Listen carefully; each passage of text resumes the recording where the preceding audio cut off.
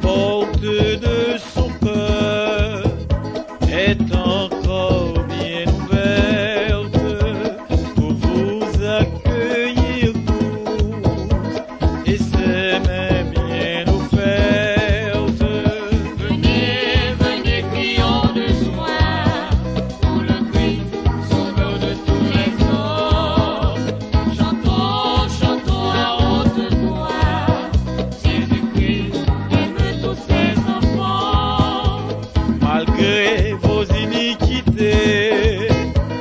il faut-il venir le fruit de sa passion est fort.